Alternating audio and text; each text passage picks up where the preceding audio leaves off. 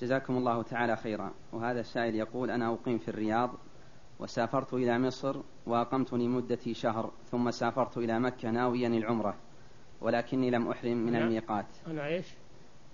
يقول أنا أقيم في الرياض وسافرت إلى مصر وأقمت لمدة شهر ثم سافرت إلى مكة ناويا العمرة ولكني لم أحرم من الميقات. وأنا حاليا بمكة فماذا توجهوني؟ جزاكم الله تعالى خيرا. إذا كنت لم تحرم إلى الآن تخرج إلى الميقات. ميقات أهل مصر وهو الجحفة تحرم منه. إذا أردت العمرة تخرج إلى الجحفة تحرم منها.